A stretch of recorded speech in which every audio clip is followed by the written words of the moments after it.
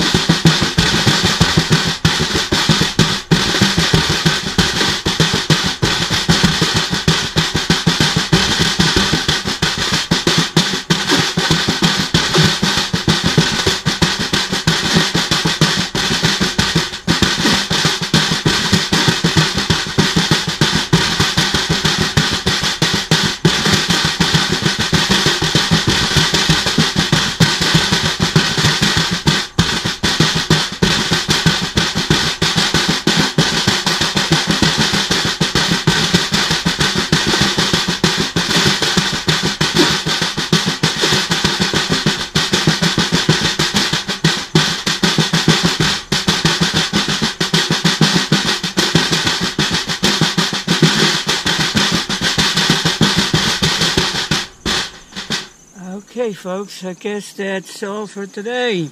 I'm going to look straight in the lens, and um, it was fun.